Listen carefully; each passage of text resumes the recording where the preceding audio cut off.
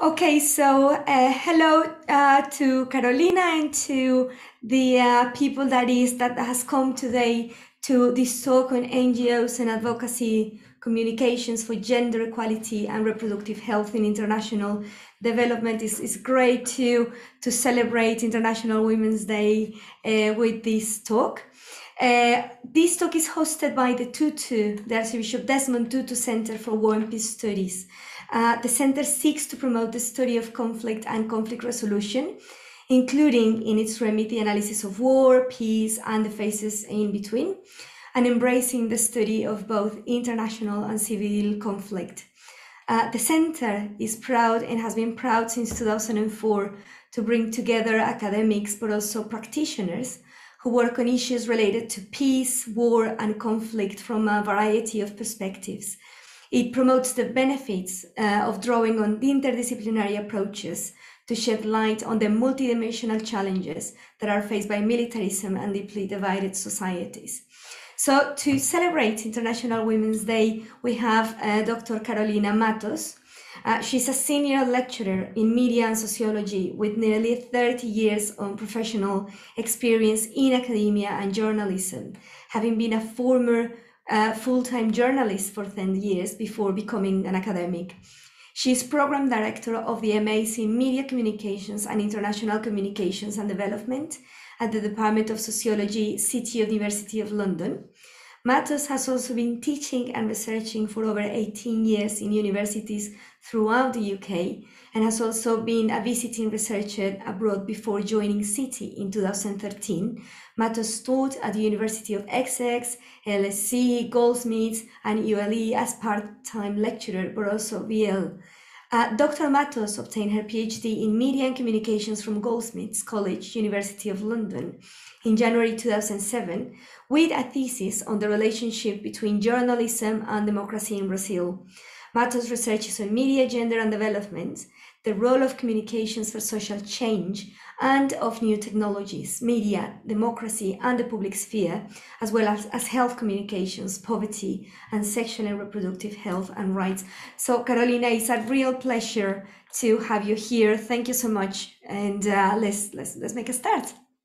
Thank you very much for the invitation, Catalina. Thank you, Anthony. Thank you, everyone at Liverpool Hope University. It's a pleasure to be here. Um, yes, so my introduction has been uh, given. I don't need to uh, talk into that as there's a lot to cover, this is a big project. So I've kind of summarized it to fit around 20 or 30 minutes. And so you just have to bear with me. I'm also very tired. Now I'm just right in the end of submitting my full manuscript of this project now to my publisher, McGill Queen University Press. And so I'm in a kind of very crucial stage of delivering the manuscript to the publisher. Okay, so this uh, talk is called NGOs, Advocacy Communications and Use of New Technologies for Gender Equality and Reproductive Health. It's funded by the Global Challenges Research Fund. Now, um, what I'll be doing here today, I'm going to provide some of the key theoretical frameworks that guide this research, particularly in the areas of gender and development, also uh, sexuality and reproductive health, connecting this to inequalities of poverty and structural inequalities. I'll also talk about the case of the role of communications in development and particularly how NGOs who have emerged, particularly from the 90s onwards, very, as very strong players in, in development and have taken on a position that has somewhat substituted the, the, the, state. What we have also in this area of gender equality, a lot of interesting work um, done by these organizations, and particularly also in the very difficult and complex area, which is reproductive health, as you're going to see.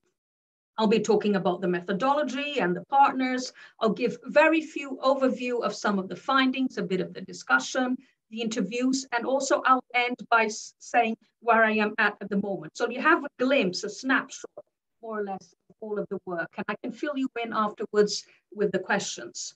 So one of the things that's important to note, and particularly the, the younger generation of feminists will see this even more clearly, the, the third and the fourth generation of feminists. What we have in the last years is seen a kind of almost a renewal of feminism to some extent throughout the world. right? So we go from Ireland to Argentina to Brazil to India. We have expressions of the Me Too movement to a lot of protests that emphasize very much women's bodies. The whole notion of um, the body, the emphasis on uh, uh, agency, the emphasis on freedom, as well as sexuality. So these discussions have emerged quite strongly in the last decades. But as I explore in my work, and this also provides historical context, these advancements have been ongoing since the 80s and 90s. So it's not new. Simply, there's a whole context where as we're going to be seeing, I'll situate sexual reproductive health within the kind of geopolitical context at the moment.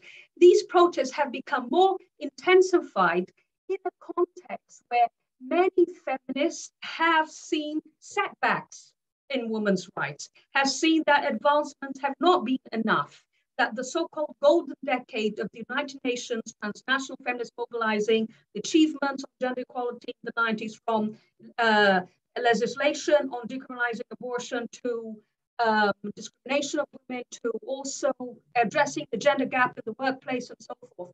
What has happened is that across the board, there's a sense that women's rights have stagnated. And so there has, has been a kind of revival and a recommitment of looking at women's basic rights. So in terms of the theoretical contribution, so this work is very interdisciplinary. So it's situated within uh, gender and development sexuality. It also speaks to health communications, NGOs, and advocacy communications.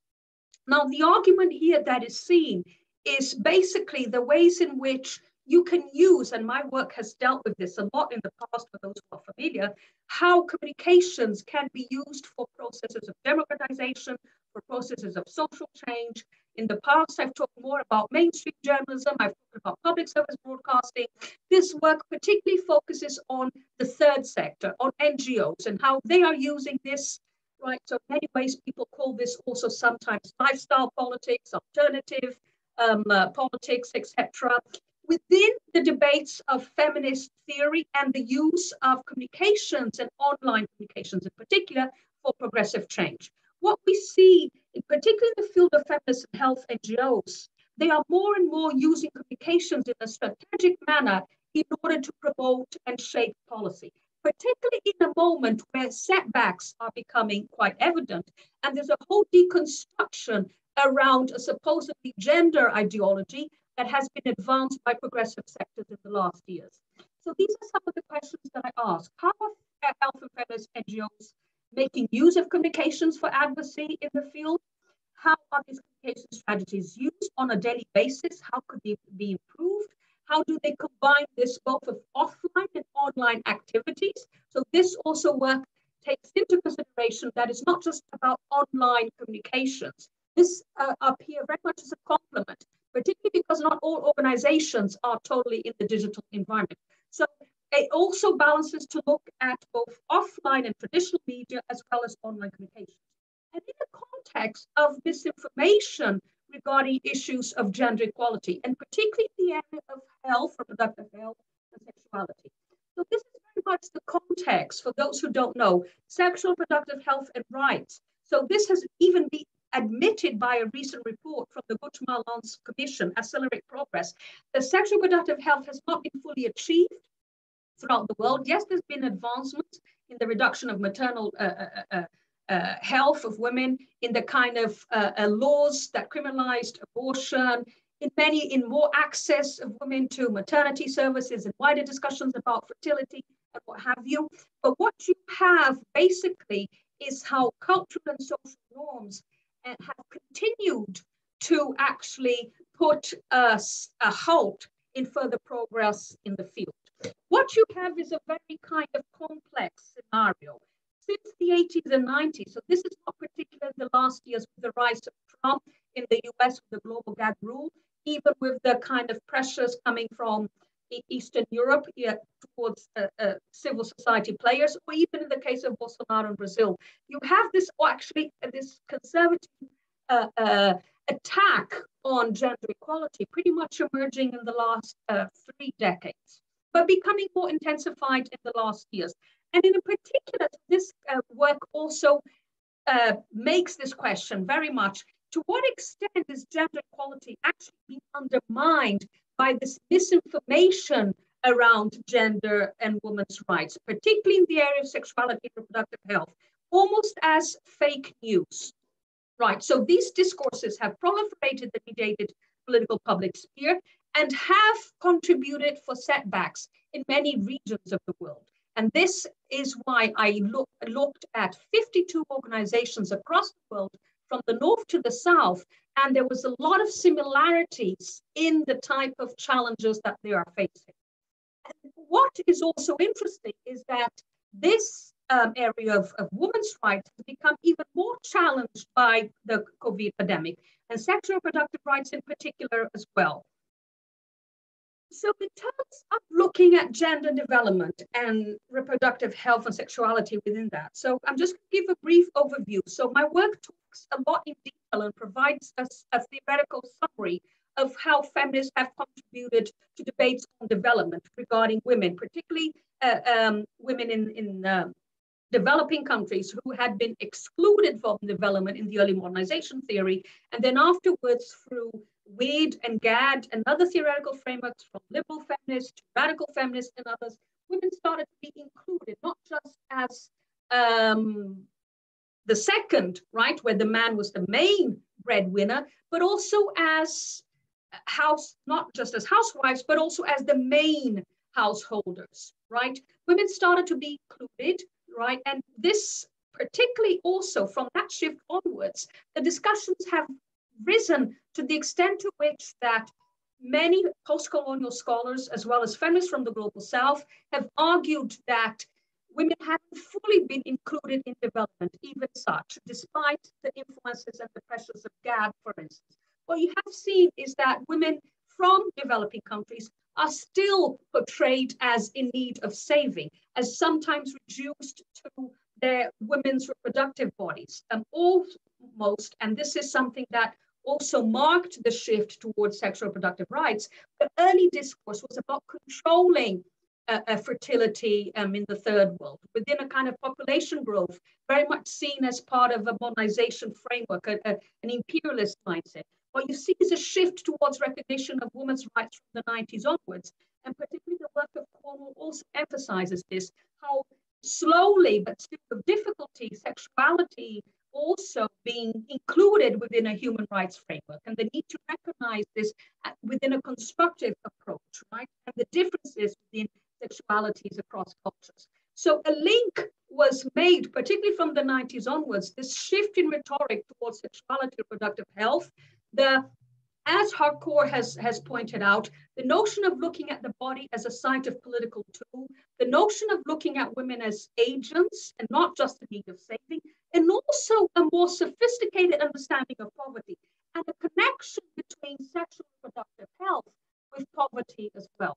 The ways in which these is, are interlinked. And here, the work of Chambers is very important in his kind of web of poverty disadvantages, how the emphasis on um, people's access to health systems, plus the ways in which their sexual identities and how they can be stigmatized and marginalized. This can be difficult for them to access information on health and particularly access reproductive um, services as well. So this discussion on the link of sexuality reproductive health with poverty and, and women's rights is something that is not always evident, right? And here we are kind of trying to go back to that in a context where we see that structural inequalities of poverty and on gender haven't been fully tackled. And we are in a moment where we can actually go even more backwards, right? So uh, recently, a report from CEPAL has pointed out that in the case of Latin America, for instance, you have like a decade of going back now because of the pandemic. So these are important challenges that haven't been fully tackled. So this debate is also inserted within discussions of health communication campaigns in development. Traditionally, again, health communication campaigns were very much kind of behaviorist, and the ones that were directed to the developing countries were within a message, for instance, that men had to use condoms, a woman had to breastfeed, in a very kind of short term uh, uh, uh, perspective, right, which was also very stereotypical and did not really create genuine change. Right? So what we have then here is a revisiting, and, and particularly in the last years, the participatory dimension has had a lot of influence within health communications. And I discuss this a lot in the book. And the ways in which also communities can participate in their own messages so that these messages are less as stereotypical. A bit more on that shortly. So another aspect here is that when you look, as I said, about NGOs, there's a whole literature now from journalism to development that is looking at the role of NGOs in uh, setting pub, the public debate, right? Competing with politicians and organizations. And what you have here is a paradox. When it comes to feminist NGOs, they have grown quite a lot from the 80s and 90s, right? Particularly there were more feminist grassroots. What you have is bigger organizations that have been influential in many of these debates. And I have engaged with these organizations, which I'll talk to you shortly which ones they were. So in terms of the use of communications in development, there's a whole discussion here of how communications is important for social change and how we can use communications in a strategic manner.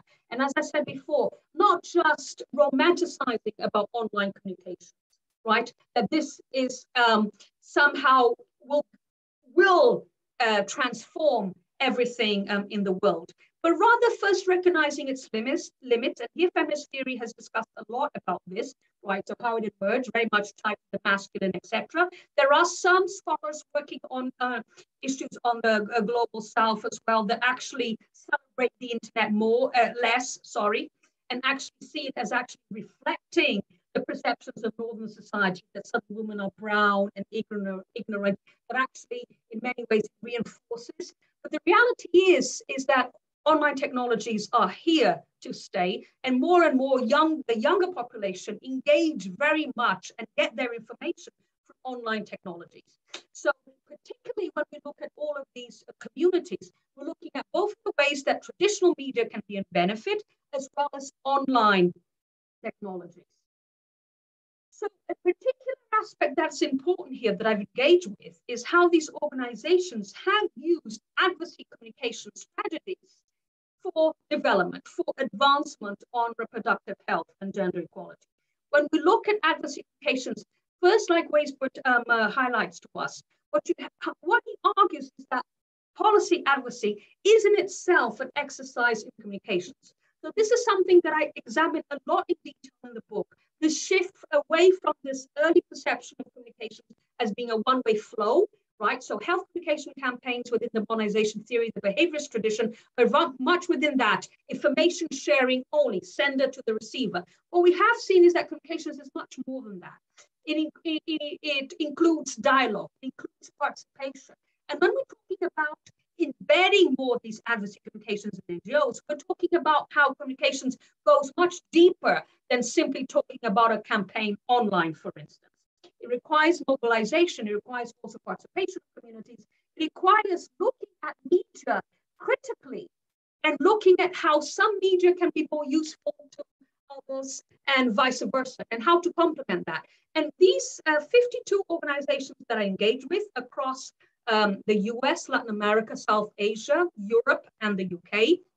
An important aspect is, is how different media can actually do different things. So in many ways also, the more in-depth discussion regarding reproductive health, uh, many see it also as being uh, better explored from the traditional media, whereas the online media is a good space for mobilization, for instance. Um, I'll talk more about that shortly just in terms of then talking about methodology of the work. So this project, as I said, I'm concluding now. This was an over two years, nearly three years project. So it's been a large research which has included a mixed method approach from uh, interviews with gender experts from the organizations to interviews with the communication professionals. These um, interviews with communication professionals included a survey questionnaire where they answered questions about how they use communications, including offline, online, their target, their messages, their difficulties, etc. The interviews with the gender experts uh, were more kind of assessing the challenges as well as looking to the future, right? So we also did uh, content and critical discourse analysis of the institutional websites of these organizations particularly looking at what they put out there, how they engage with the public, And we also did a small um, analysis of the social media engagement on Twitter and Facebook in this particular period of um, uh, 2019 when the research started. So the partners here have included um, an Institute of uh, Sociology and Politics in, in uh, Rio, Brazil, which is very well known. Also in India, the Center for Internet and Society. Um, the NGO República in Brazil, I got to know them through this work. Now they are a partner. And the same goes with the US Global Fund Women that I got to know through the work and now they are a partner uh, moving forward. So PhD students have worked on this in different uh, periods. Uh, they received from the grant that was uh, given to me, I managed to conduct events as well as include the PhD students from public health, um, sociology, as well as communications, India, Brazil, and the UK. And after designing the code book and designing the questionnaires, some of them helped with me with collecting the material as well as conducting the interviews. So in terms of the types of communications, as I said, so here um, I looked at not just information sharing, but also other forms of communication such as advocacy, community engagement, fundraising, and mobilization. Also seeing an overlap between some of these terms, try to emphasize more and engage with the debate regarding rational and more kind of emotional human interest content, which this is particularly important.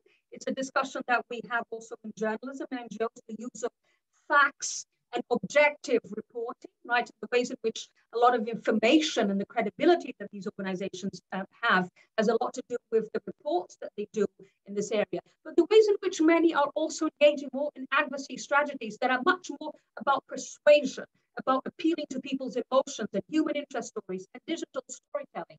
So this is quite interesting and came out as a key aspect uh, de uh, developed in the interviews, how they argue that it's not enough simply to present hard facts on how it is important, for instance, to tackle an unsafe pregnancies for teenagers because this is a public health issue. Simply stating that factually is not enough. That basically the combination of rational and emotional and the ways in which, for instance, digital storytelling can actually show the suffering of people and can engage uh, uh, people in a compassionate with, with the course, how that is also important. So in terms of the code book, we've had looking at all of the organizations, what they had there and what they offered. So in terms of online communications, there's a lot of use of Facebook and Twitter. And this is particularly interesting in terms of how Twitter is more widely used in the northern uh, uh organizations, whereas uh, Facebook more also in South America. Uh, YouTube is rising a lot, so there's a few differences. And, and you see the use of blogs, for instance. There was a discussion also on analyzing blogs and how they use blogs. It's still not widely used.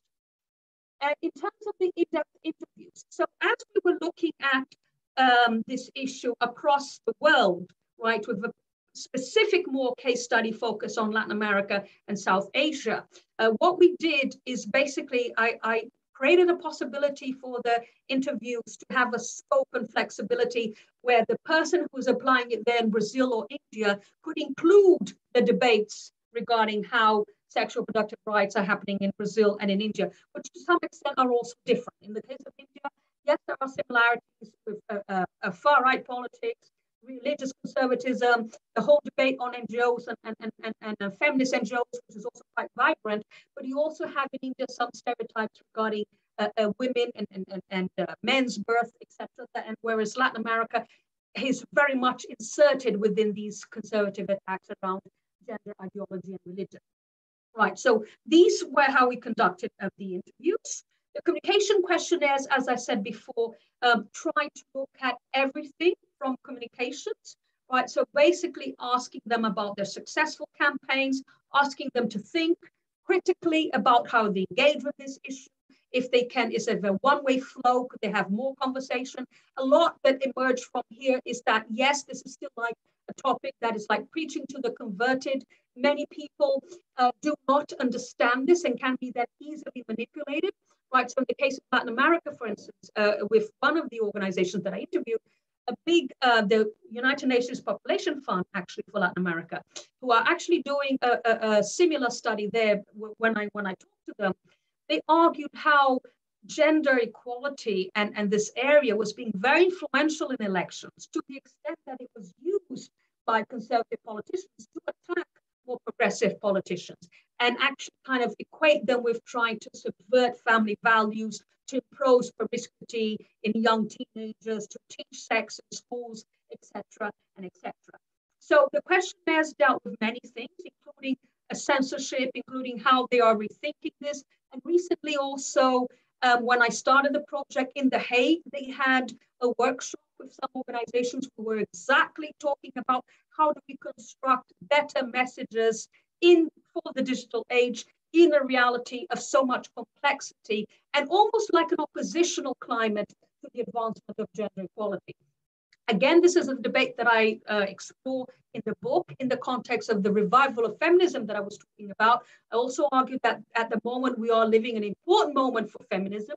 Yes, it's being attacked, we can argue, from both the right as well as the left, in the case of particularly uh, feminism in, in, the North and the whole debate about the white feminism and the ways in which uh, the post-colonial critiques haven't been fully um, taken forward, how still there's a difference, what I was saying before about the treatment when we talk about women from developing countries and the third world woman. These issues are also discussed with the gender experts of the organizations. And Erin Williams, particularly from US Global Fund Women, argued very forcefully that she sees the importance of the voices of women coming from the South in shaping this debate and providing more gender equality for women across the world, not just coming from the North.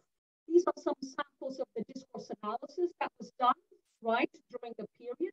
So what we have, for instance, um, particular themes that came out, a lot of fact checking, similar to journalism, a lot of kind of a use of information that showed, look, these are the facts, this is a myth, a lot of attempt to kind of deconstruct this uh, uh, gender ideology and misinformation around reproductive health, presenting the facts. That was something that came across quite strongly. Another thing that also came across was the use of digital storytelling about particular people that had uh, experienced difficulties and how they were given a voice. So this was also widely used. And this is a practice, as I said before, which is interesting. And um, international development, humanitarian NGOs are using it more and more. There's a big debate around this, how um, personal stories can be influential in terms of creating compassion, but they should not be depoliticized from other political and, and, and, and social struggles to the extent to which it's almost like in certain organizations in development, they use some of these personal stories, for instance, to emphasize women entrepreneurs, like um, associating agency as only an individual achievement. So that is a debate that I also discuss in the book, which I find quite rich. And we probably will be talking more about this, particularly in the context of the use of entertainment education for these campaigns. This is something that came out also quite clearly the ways in which entertainment education style of campaigns can be useful for this type of work to engage people.